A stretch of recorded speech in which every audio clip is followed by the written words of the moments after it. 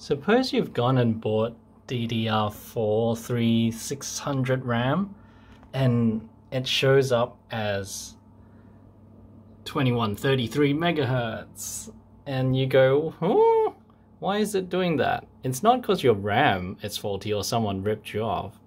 It's because if we go over here to easy mode, you have to make sure Intel's XMP mode is activated. This is what allows your RAM overclock from 2133 to whichever one you've bought. In my case, I bought the 3600 one. And so here you can see it's applying 1.35 volts to it, which is what it says on the sticker of the RAM. And when you go into advanced mode, you can see that it's actually applied the XMP1 profile.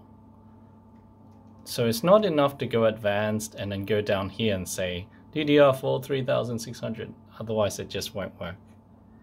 Now when you restart, it will show you the frequency as the correct one.